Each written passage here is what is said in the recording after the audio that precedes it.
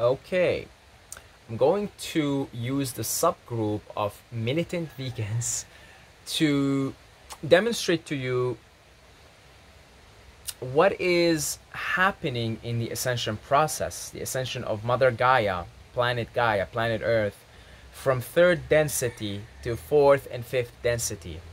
And if you're not aware of the densities, I mean, I've got a lot of videos on it you could go some watch some of my videos from uh, from the past, or look into the law of one, the the Ra Ra material R R R A Ra material, the law of one, uh, and uh, you will have a better understanding of this. But I think a lot of you guys watching this uh, roughly know what I'm talking about here. There is an ascension process. The planet is is is shifting vibrations, going from a lower vibration to a higher vibration that supports love, fourth density, and then wisdom, fifth density. So what is a militant vegan? A militant vegan is someone who uses uh, forms of aggression, different forms of aggression, to impose their way of perceiving reality, their way of life, which happens to be veganism, which happens to be not killing other animals and not consuming animal products. And often in the process, uh, the militant vegan will again use different forms of aggression, activism usually. And this also, you know, this will also explain to you social justice warrior, the social justice warrior phenomena.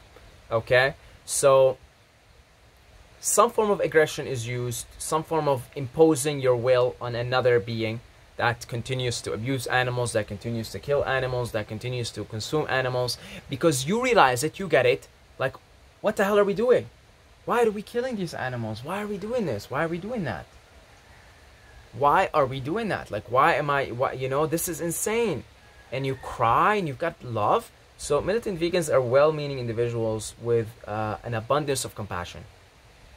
An abundance of compassion but uh, lack of wisdom. Okay lack of wisdom. Now let me explain.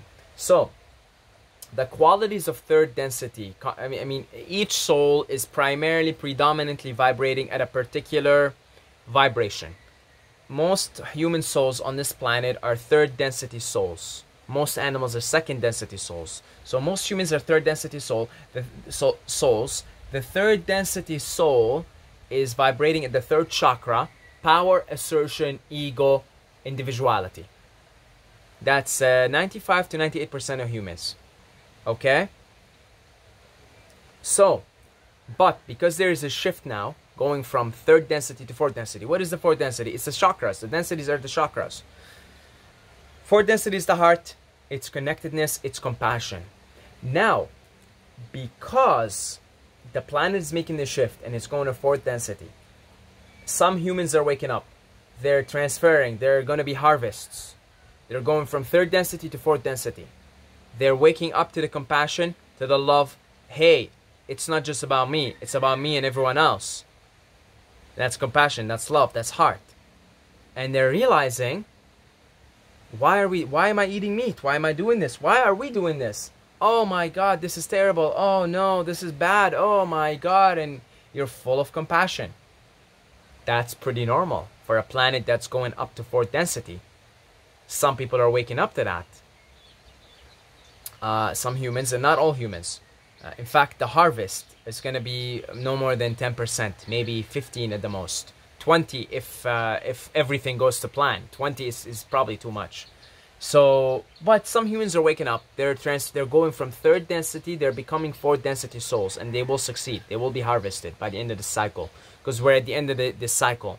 So, a lot of the militant vegans that you see and the social justice warriors are souls that are actually evolving from third density to fourth density.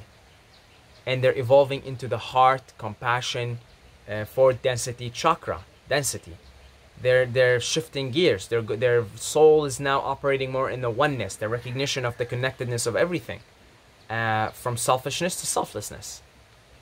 And often, the way forth, when you go to fourth density, the way you serve is a lot of times through self sacrifice that's the lack of wisdom. It's through through uh, engaging in in battle. Okay, you engage in battle. Uh, you fight for the good side, for, for good, against evil, And, and, and often, if you're either going to fourth density or if you're predominantly fourth density, you often uh, resent evil, you resent hate, and you're actively fighting it. A lot of the militant vegans and the social justice warriors are exactly that. Their souls moving to fourth density, and that's exactly what a soul does when it moves to fourth density. It fights evil. It fights the bad. It uh, it's very active and aggressive. It uses aggression uh, in order for it to uh, show its love, its compassion, and uh, its selflessness. And uh, then the other portion of the militant vegans and the social justice warriors would be fourth density souls. They're already fourth density that came down here to serve the planet also. So either that, you see, either a fourth or an already fourth density soul, already operating predominantly at the heart, or a soul that is going to actually succeed at going from third density to fourth density. Now, what is fifth density? Fifth chakra, throat chakra. That's the chakra of light, the chakra of wisdom.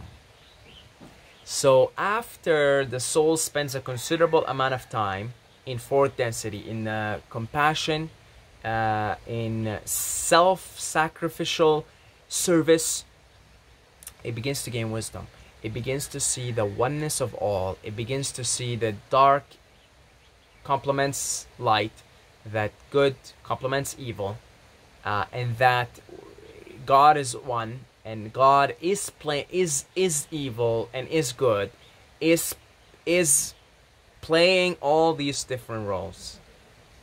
So uh, the recognition of the oneness of, of, of everything begins to dawn upon the soul, uh, and the soul begins to understand with wisdom, fifth density, begins to understand with wisdom that this is all just the dance of the divine and that I am indeed here to play a role. It doesn't. You're not suddenly like, okay, all right, I'm not gonna. I'm. I'm gonna let's go back to eating meat. I'm gonna go back to eating meat because it's wisdom, because it's all perfect anyway, right? It's all God anyway. Uh, and so I'm just gonna go back to eating meat. I'm just gonna go back to doing my thing, and it's it's not that at all. It's not that at all. It's understanding that although all is one and all is God, that due to your uh, where you are, you've evolved now to the fourth and the fifth, that you cannot help but be a compassionate being. So you're going to continue to serve. You're going to continue to preach veganism. You're going to continue to preach equality and tolerance. But now that you've gone to the fifth density, to wisdom, you do not do it with aggression. You do not do it with resentment. You do not do it with uh, imp- imposing your will. You do it because you do it. Because that's just what you do. You do it actually from a place of peace, from a place of joy, from a place of appreciation actually for the whole thing. The appre- appreciation for the for, for good and evil, appreciation for duality, appreciation for creation, appreciation for intelligence, appreciation for God, the intelligent, infinite intelligence, uh, working its way, you know, playing this whole cosmic game of going from separate first density to oneness, seventh density, pure energy, pure source, pure light. And you actually delight in it. You delight, you appreciate, but you continue to do your dance. Instead, here's what happens when you go from fourth density to fifth density instead of yesterday I was clever and I wanted to change the world. Today I am wise and I want to change myself. So what happens then is you begin to focus more on changing yourself. So you don't go back to eating meat, you don't go back to killing animals, torturing them, saying, well, it's all perfect, I'm God and everybody's God and it's all okay and it's all groovy anyway. No, no. It's a, it's a little change in the way you carry yourself, in the way you do things you become more peaceful.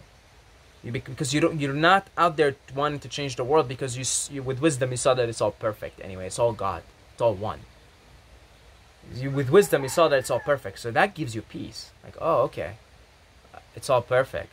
This is all supposed to happen because if people weren't killing animals if if if if if evil didn't exist i wouldn't even know my position as a light worker.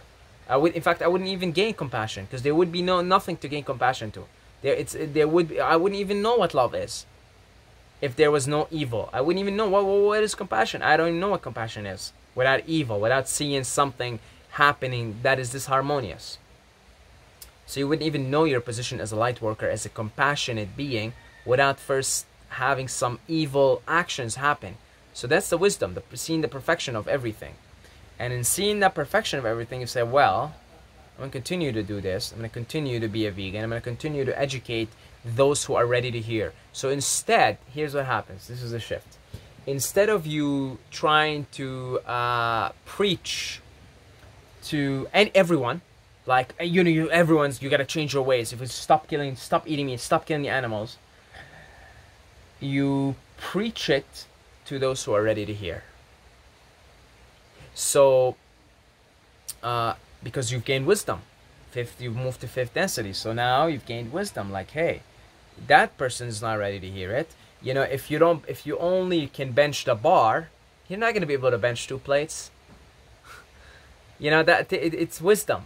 With wisdom you don't you don't suddenly go up to somebody and be like you could do it. You could bench two plates. Come on it's all mind it's all mental. Sure if that person was buddha or something and, and was able to transcend the laws of nature okay yeah they would be able to but more than likely they're not going to be able to go from benching the bar to benching two plates on on each side.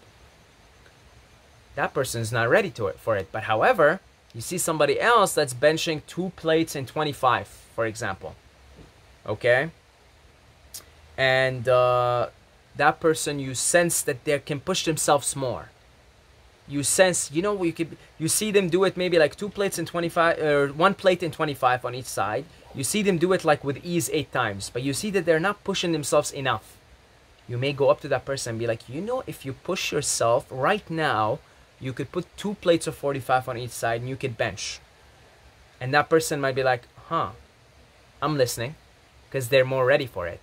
And at that, right there, in that session, you may be able to get them to put two plates on and bench it at least once or twice, which may have been otherwise an obstacle in this person's head.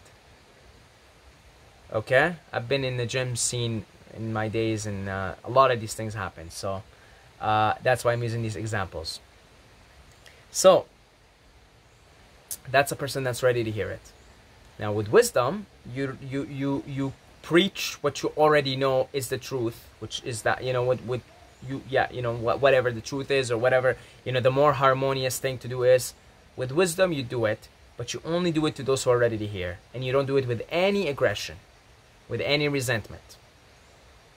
Wisdom, seeing the perfection, the oneness of all. But if I haven't gotten that wisdom yet, if I'm still naive, then I'm gonna go to everybody and I'm gonna be like, no, you just what you give love, you can use, you know, can't you look, look. I mean, the animals are suffering. Oh my God, it's terrible. You know, like, what? How? What are you doing? Eating meat? What? what? This? Are you crazy? Don't you know what these animals go through? But that person's not ready to hear it, and the truth is, most people are not ready to hear it. Not like that. They've got to go through their own levels too. And that's why you see what you see in front of you, and it's part of the ascension the militant vegans, the social justice warriors, well-meaning souls. In my opinion, most of the militant, you know, the, the militant vegans, the social justice warriors, are third density human souls that are moving into fourth density. I don't think they're wanderers because most wanderers are fifth and sixth density souls. They're already operating in wisdom and beyond in, in service to others. But the third density souls going to fourth density are now beginning to want to serve others, beginning to see the oneness of all, beginning to gain compassion for others. And so they're kind of, it's a compensation mechanism because they're, they've been in, in third density for so long. And it's sort of a, comp- I mean, think about it. If you've been, uh, like, let's say you've been mean, let's say you have a kid and you've, like, been mean to them their whole life. And you've been, like, you know, maybe beating them up and, like, really, really just, like, making your kid suffer for whatever reason, playing power games, and one day you wake up like, I love my kid. Why why have I been doing this for my kid all this time? Oh my god. You're gonna have a compensation reaction You may start to spoil your kid. You may like buy them all kinds of things, give them all the money they want, give them all the food they want, because you, you feel terrible, you feel guilty. So a third density soul, been in this third in in in this earth, been in the cycle, in the earth karma, been acting selfishly all this time, suddenly wakes up due to the ascension process says, wow, I can't believe it. What have I been doing? I've been asleep all this time. So then the compensation reaction uh, kicks in, and then you start to, you know, want to tell everyone about this. So see, well-meaning souls. So yeah, just understand that each soul is at a different uh, evolutionary path. It's in a different evolutionary path, and it is acting based on where it is in its evolutionary path. And so right now, this planet has all kinds of souls. I mean, we've got third density souls, moving to fourth density. Uh, we've got the wanderers, fifth and sixth density souls who are here to uh, facilitate the process, to help the process of ascension. Uh, and they tend to be wiser souls and uh, they tend to not intervene as much and not act with aggression uh, because of the wisdom that they have gained in their previous evolutionary cycles on different planets and solar systems. And then we've got fourth density negative souls. That's the you know the reptilians and stuff. You can't see them, but they're sort of running the show. We've got fourth density souls uh, that are also acting from beyond the veil, though not necessarily. You know they're acting from beyond the veil, not in physical form. We've got third density negative souls that are more negative, more negatively oriented. The elites, think of the elites. We've got second density souls here, that's most of your animals and plants. We've got first density, that's your the elements, the primary elements. Uh, and uh, in rare occasions, we have fifth and sixth density negative souls also. So it's a mixed planet, as with any planet. You know, until the planet, once the planet ascends, like uh, once the planet goes to fourth density and then fifth density, positive, that's it then uh, it's pretty much becomes more uniform. Things become more uniform. But third third density is very exciting because it's always such a mix. The duality is very strong. The conflict is very strong in any third density planet or solar system. And so this is very interesting times. So that's why you get a lot of interesting folks, a lot of interesting things happening around. Uh, and a lot of it's a mixed you feel like you know you feel like earth is a mixed audience it definitely is a mixed audience uh, so yeah, it's uh, just pretty amusing to uh, to uh, observe, and uh, yeah, just I I thought I wanted to bring this to your attention, to your awareness, just, just so you know, as an amused observer of the whole thing, you get to understand what's happening. Just understand it. That's all, right? Just understanding and go on being amused. Okay, so thank you to all the Patreons for your continuous support. God bless you if you've got a couple of bucks a month to throw down uh, our way, there's a link for Patreon in the description. If you want to make a one-time donation on PayPal, that is highly appreciated, and uh, I'm so deeply grateful. Thank you very much. And follow on side on Instagram at Saeed Mobayed if you want to talk about anything specific in person. And until next time, may the force be with you.